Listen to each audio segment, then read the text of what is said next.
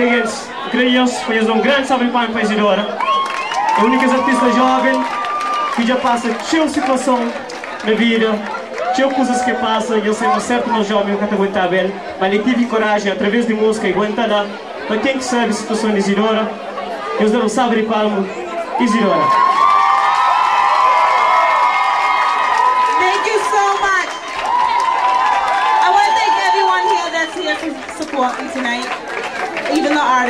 Said I love you too. And everyone that participated on this album, all the artists that's here to support me, my whole family, I love you. And also, I would love to thank the man too that played the music that I love to work with, Claudio Ramos. I love you, okay?